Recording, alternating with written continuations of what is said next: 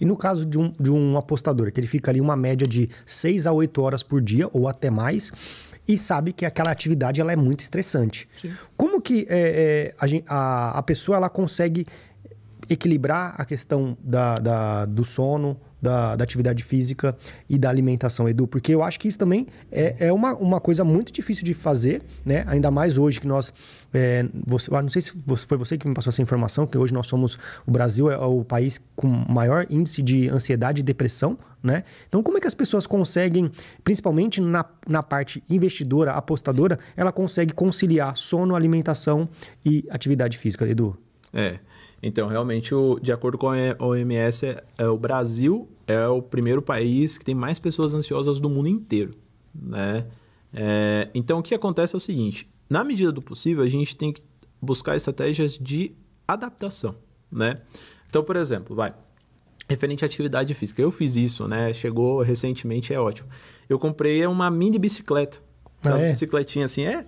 E aí o objetivo é ficar atendendo e ficar ali, ó, pedalando. Sério, velho? É, é, ó, ontem eu, ontem eu queimei 650 e hoje eu queimei 500 calorias já.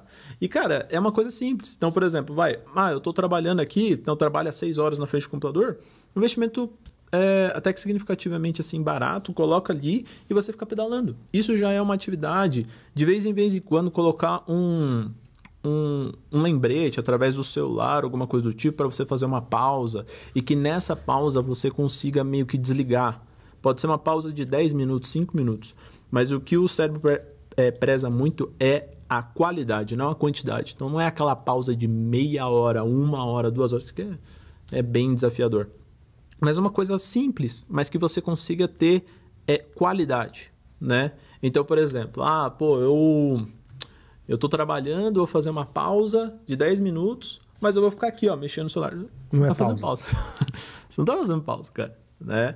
Então, assim, pô, você tem que sair do ambiente. Às vezes, por exemplo, ah, eu moro no prédio, pô, desce um pouquinho lá embaixo, né? Toma uma água lá embaixo. Ah, não, vou tomar uma água. Não, toma uma água lá embaixo. Mudança de ambiente. Às vezes no prédio tem aquele lugar que é mais, é, mais arborizado, né? Tem um ar diferente ali embaixo. Vai lá para baixo, ficar uns dois minutos, que for. Escuta uma música, né? Isso é muito importante. E aí, a partir desse momento, a pessoa consegue fazer uma atividade, né? Nesse, nesse período. Segundo ponto, né? Alimentação. É, a alimentação é, é, é, ele tem um impacto muito grande, né?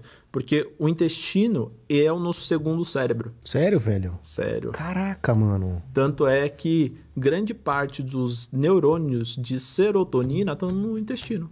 Que doideira, não no cérebro. mano. É. Então, assim, é...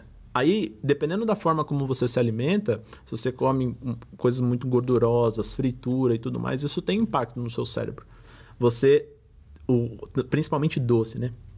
Ali- Alimentos muito com açúcar, glicose, essas coisas, você pode causar inflamação no seu cérebro, né? Então, Porra. é, sério. Quando eu soube disso, eu fiz a mesma reação. Eu falei, caramba, eu não acredito. E eu amo doce, cara. e o segundo ponto, né? É, quando você come muito fritura, você acaba é, deixando o seu cérebro meio que mimado para as coisas. Então, ele quer muito prazer. Então, a partir do momento em que você é, entende sobre essa questão alimentar, o que, que eu recomendo? Às vezes você comprar marmitas ou fazer marmitas, sabe? Deixar no congelador mesmo. Eu sei que é, o ideal seria você fazer comida para comer fresca todo dia, né? Mas essa não é a realidade, né? Cá entre nós não é a realidade, não dá para fazer. Mas às- muitas vezes não dá para fazer. Mas é importante, faz uma mar- marmita de final de semana, pega ali, coloca, se separa e vai comendo. Essa marmita ela é saudável, né? E tudo mais, eu acho que é muito importante. E o principal de todos é o sono, cara. Sono, sono. Se- entre esses três, o principal é o sono. Ó, os três são muito importantes, mas em ordem assim o sono. Caraca, 100%. 100%. Porque é durante o sono que acontece mecanismos muito importantes. Por exemplo, aprendizado. Então, é, eu espero que, assim como você, as pessoas que estão me assistindo também, elas estejam é, aprendendo coisas novas. Você não vai estar consolidando isso, e nem vocês vão estar consolidando isso ah, agora, nesse momento. Você vai consolidar no seu sono. Então, é, é tipo assim, essas informações, elas estão dentro do seu cérebro, assim, meio que no ar. Aí, quando você dorme, ela vai pá, pá, pá, pá, consolidar. Entendeu?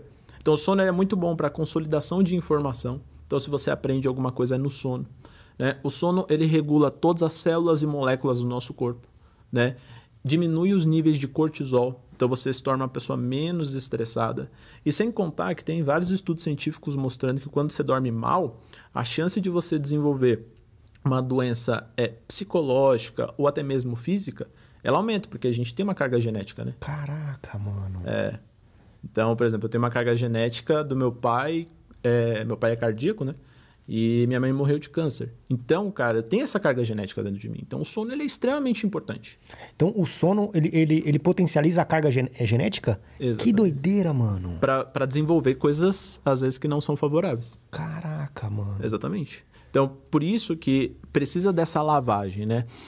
Existe... É... Fazer de uma forma bem resumida aqui, para não ficar muito extenso. Existe um líquido no nosso cérebro, né? Então, por exemplo, dentro dele existe um líquido. E o nome desse líquido chama líquido encefalo-raquidiano, né? E o... Encefalo-raquidiano? Encefalo-raquidiano, isso. E esse líquido, ele lava o cérebro. Então, quando você dorme, esse líquido ele fica pux, literalmente lavando o seu cérebro para tirar o que a gente chama de resíduos tóxicos. Então, por exemplo, cara, o que é importante para mim? Importante para mim agora é você.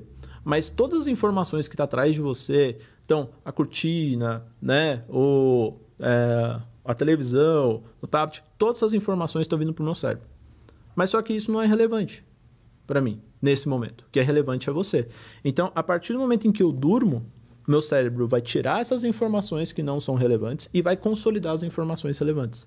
Então, sabe quando você acorda assim e às vezes. Quem nunca, né? É, é até difícil de pensar.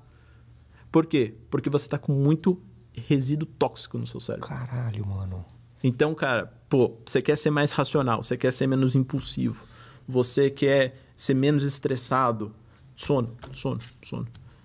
Tanto é que, tipo, muitas pessoas acham que elas têm transtornos, TDAH, TDA, depressão, mas às vezes é o sono da pessoa que não tá boa.